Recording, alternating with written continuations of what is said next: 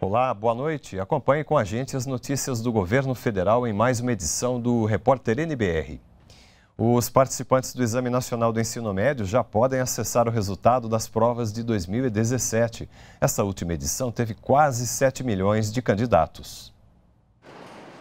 Depois de enfrentar muita tensão e expectativa pelo resultado do Enem, a Bárbara foi com a mãe até o colégio onde concluiu o ensino médio para conferir o desempenho na prova e foi só acessar o sistema com as notas individuais para o sorriso tomar conta da estudante. Fiquei muito ansiosa, estava muito nervosa para ver o resultado, mas graças a Deus fiquei muito feliz com o resultado da redação, de que eu tirei 900. Eu é, vi que todo o esforço que eu tive é, compensou tudo que eu passei nesse ano de 2017. O desempenho de Bárbara deixou a mãe empolgada. Esses dias todos eu fiquei pensando nesse resultado, só que eu não ficava perguntando para ela para não ficar, né, cobrando e tudo, mas eu sempre ficava pensando nesse resultado e ela me dizia: "Ah, mãe, eu acho que sei, acho que eu não fui tão bem, mas hoje eu vi que o resultado dela foi muito bom".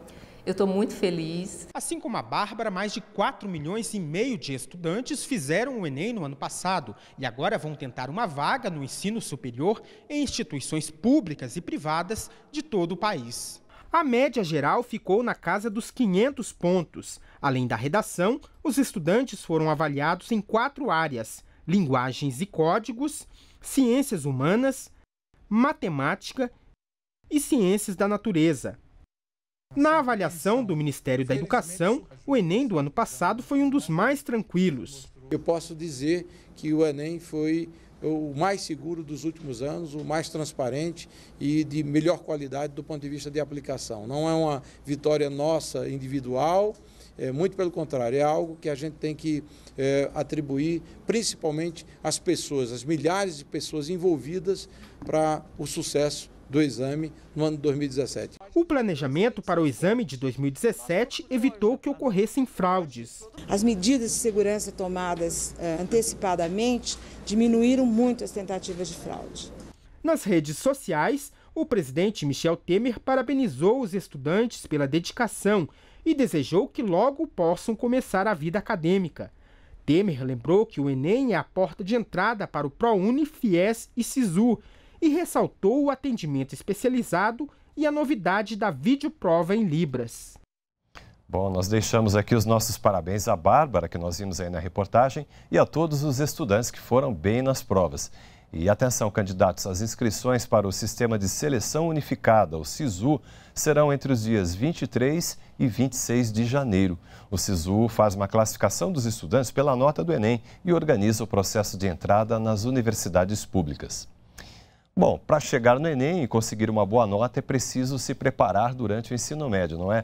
E para reforçar o ensino médio integral, o governo anunciou repasse de mais de 406 milhões de reais.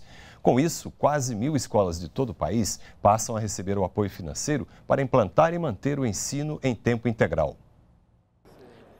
Hamilton concluiu o ensino médio estudando nove horas por dia. Além das aulas comuns que a gente tem em toda a escola, como português, matemática, física e química, a gente também tinha as disciplinas eletivas, que eram disciplinas formadas por professores de áreas diferentes, como por exemplo biologia e, sei lá, história.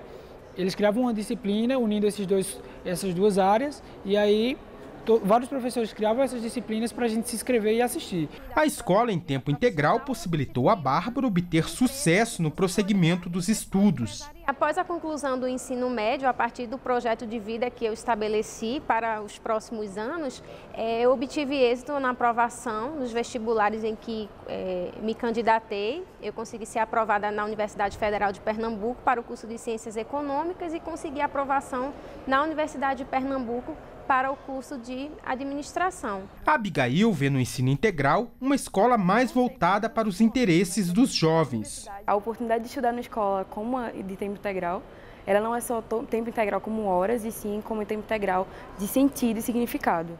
Você começa a entender mais sobre o que é que você quer ser quando crescer daqui a cinco, daqui a dois anos e, e sai da escola em tempo integral preparado, seja para o mercado de trabalho, seja para a universidade. Os três jovens de Pernambuco participaram da cerimônia no Palácio do Planalto de liberação de 406 milhões de reais para o ensino médio de tempo integral.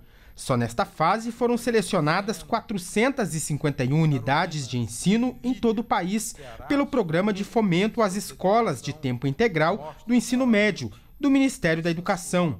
Agora, com a ampliação, alunos de 967 escolas terão atividades durante todo o dia.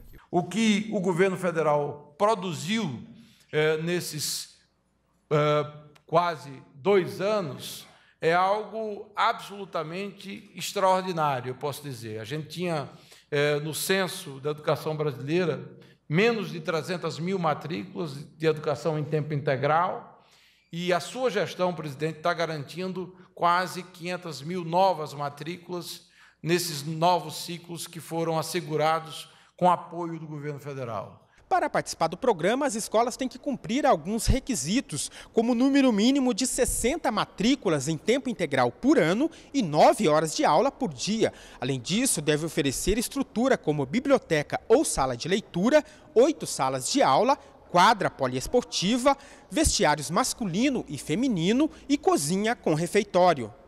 O presidente Michel Temer disse que o programa ajuda a colocar o Brasil no século XXI e citou o exemplo da Coreia do Sul. Todos, sem exceção, fazem a escola em tempo integral. E não é sem razão que lá se combate aquilo que também foi ressaltado pelo doutor Magalhães, que é, senador Wellington, a, que é o combate à ignorância porque lá as pessoas prosperam enormemente, eh, tecnologicamente, na, nas várias áreas governamentais, na administração, na política, em função precisamente eh, da educação em tempo integral. O governo brasileiro decidiu não aplicar medidas de proteção ao aço nacional contra o aço importado de empresas da China e da Rússia. Os ministros da Câmara de Comércio Exterior concordaram que empresas desses dois países praticaram preços desleais ao vender aço para o Brasil, mas optaram por não adotar neste momento barreiras à importação. O ato de um país ou uma empresa venderem produto por um preço muito abaixo do que é praticado no mercado internacional é conhecido como dumping. Quando isso acontece, esse país ou essa empresa podem enfrentar barreiras comerciais que são conhecidas como práticas anti-dumping. O ministro do Planejamento, Desenvolvimento e Gestão, Diogo Oliveira, comentou hoje o caso do aço vendido pela China e Rússia. O ministro disse que a decisão do Brasil de não impor barreiras a esses países foi tomada porque o setor siderúrgico brasileiro tem se recuperado nos últimos dois anos. No caso desse, desse produto de aços laminados, que é um produto é, muito utilizado na indústria automobilística, na indústria de, de eletrodomésticos, na indústria é, de bens de capital, né, é, foi é, observado que essas empresas é, é, efetivamente atuaram de maneira é, né, dump, de maneira dampeada, adotando práticas de dumping. Entretanto, a Camex observou que nos últimos anos, né, nos últimos dois anos, já houve uma redução significativa das importações dessas empresas e um aumento dos preços. Portanto, a decisão da Camex foi aprovar o processo, a investigação, mas não aplicar imediatamente as medidas restritivas. Portanto, é, fica suspensa a aplicação da, do direito antidumping, esse é o termo técnico, e esse mercado ficará, portanto, sendo observado e havendo a volta da prática dessas uh, ações uh, desleais de comércio, o governo brasileiro poderá, uh, digamos, cancelar a suspensão e efetivar a aplicação. E nós ficamos por aqui. Você pode rever as reportagens acessando o nosso canal no YouTube. Continue com a gente aqui na NBR, a TV do Governo Federal.